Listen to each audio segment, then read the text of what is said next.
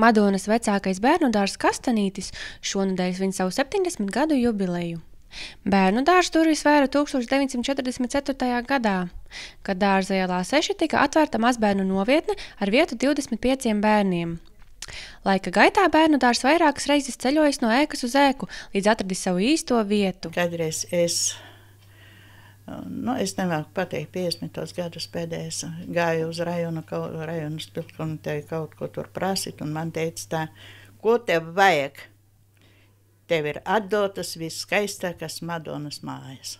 Lai gan demogrāfiskie rādītāji Latvijā nav spoži, noskaņojums runājot par bērnu dārza nākotni ir optimistisks. Gribētos redzēt tikpat pilnu ar bērniem, Arī, lai mums kristīgais novirziens paliek, gribam sakārtot laukumiņus, lai mums būtu vēl skaistāki, atremontēt tās telpas, kuras vēl neesam pagūši atremontēt, lai dzīvojam vēl skaistāk un tikpat radoši, lai mums ir pedagogi un tikpat atbalstoši, ja mēs esam Tāda maza, bet laba komanda. Lai sagādātu prieku audzēkņiem, padomāts par to, lai katru dienu būtu kāds īpašs notikums. Izjādas ar zirgu, piepūšamās atrakcijas, sejas apklusošana un citas aktivitātes. Savukārt Madonas muzejā un bibliotēkā apskatāmas kastanītim veltītas izstādes. Esam arī šajā svētku sakarā sadarbojamies ar muzeju un ar bibliotēku. Esam aicinājuši vecākus, um, lai atnes savas mīļākās bērnības rotaļlietas, un tās mēs esam aizgādājuši uz muzeju. Izstādīti ir apskatām divas nedēļas vēl, un uh, tur ir ļoti jauka arī no senatnes uh, apskatām. Bērnu dārzu apmeklē 92 audzēkņi.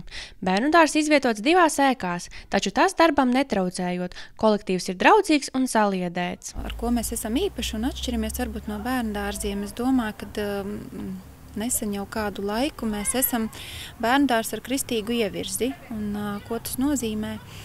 Kad eh, šī kristīgā mācība tiek mācīta gan bērniem no 5 līdz 7 gadiem. Un, uh, Un pārējām grupiņām mēs ievirzam šo mācību, mā, cenšamies mācīt bērniem šīs kristīgās mācības, bērniem saprotamā valodā. Lai jaunās māmiņas iegūtu pēc iespējas vairāk zināšanu un prasmju mazuļu audzināšanā, bērnu dārzā kopš aprīļa darbojas bēbīšu skola, kur noderīgas zināšanas sniedz mikrologopēdi, pediatri, fizioterapeiti un citi speciālisti. Sākumā es pati biju tā kā nobijusies, domāju, bet ja nu tagad uh, nesen, nesenāk apmeklējums mums sanāk mazs, valsts varbūt nebūs atsaucības, bet ir uh, liels prieks mums ir, ka mums pat no novada uh, brauc māmiņas ar bērniņiem no Cesvainas, no Saikavas, uh, no Liezēres, jo šeit mūsu apkārtnē tāda bebīšu skoliņa mēs esam vienīgie. Svētku gaisotnē aizvadītā nedēļa visvairāk priecē bērnu dārza audzēkņus. Viens nemitējis runāt par sejas apgleznošanu, citam aktuālāka bijusi cukurvates ēšana. Mēs vakardien